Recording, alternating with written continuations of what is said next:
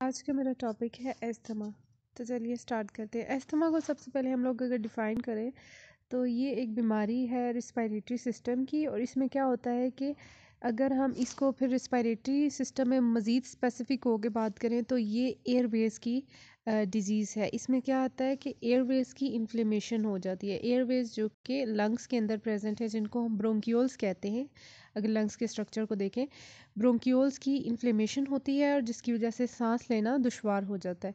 अब ये यहाँ पे एक हेल्दी नॉर्मल ब्रोंकियल ट्यूब दिखाई हुई है, जो कि जिसका जो ल्यूमन है, ये नॉर्मल है।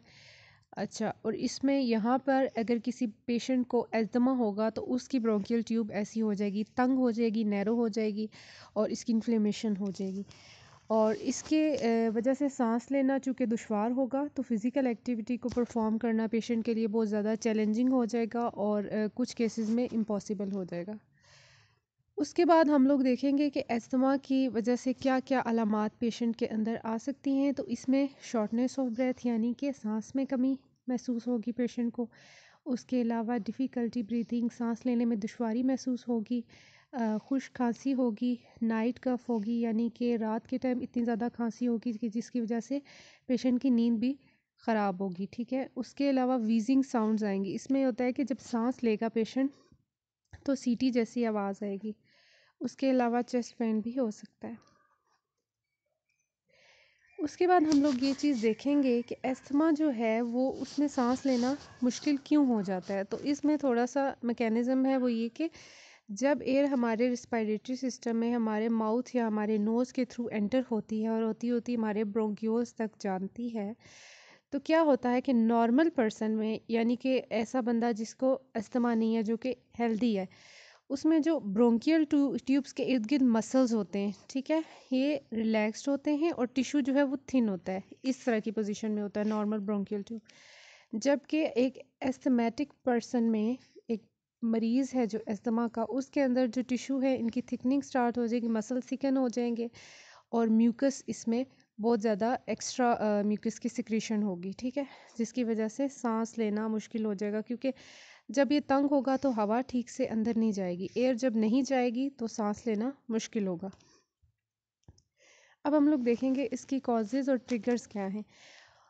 इसमें सबसे बड़ी कॉज़ जो है अस्थमा की पोल्यूशन है, जिसमें एयर पोल्यूशन आ जाता है गाड़ियों का जो धुआँ होता है और जो फैक्ट्री से धुआँ निकल रहा होता है, ये सारी चीज़ें आ जाती हैं। फैटी फ़ूड खाने की वजह से कुछ लोगों में ट्रिगर होता है। उसके अलावा स्मोकिंग की वजह से डस्ट की वजह से, वो लोग जिनको अस्थमा के साथ साथ एलर्जी भी होती है तो उनका, इन चीज़ों से अस्थमा बहुत तेज़ी से एग्रेवेट होता है। डस्ट से कुछ लोगों को पेट्स से एलर्जी होती है।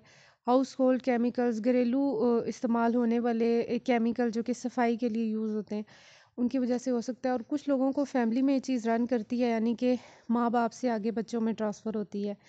और बैक्टीरिया और वायरसेस की वजह से भी हो सकता है। कोई इन्फेक्शन है तो उसकी वजह से। अब हम लोग ये देखेंगे कि इसके ट्रीटमेंट के लिए क्या रिकमेंडेशन है। तो सबसे पहली बात ये कि एस्थमा को ट्रीट करना जो है वो पॉसिबल नहीं है। इसमें ये चीज़ है कि हम लोग इसके सिम्टम्स को सिर्फ़ कंट्रोल कर सकते हैं। तो उसके लिए सबसे पहले ज़रूरी है कि रूटीन चेकअप किया जाए। प्रॉपर चेकअप करवाएँ डॉक्टर से, जो भी पेशेंट है इस्तेमा का। उसके अलावा एक्सरसाइज है, जो कि फ़िज़ियोथेरेपिस्ट रिकमेंड करेगा।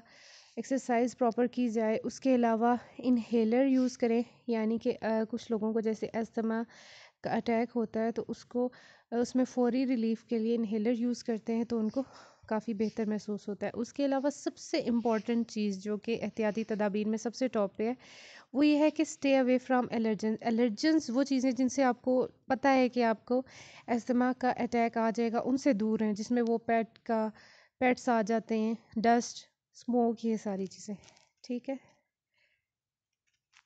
Thanks for watching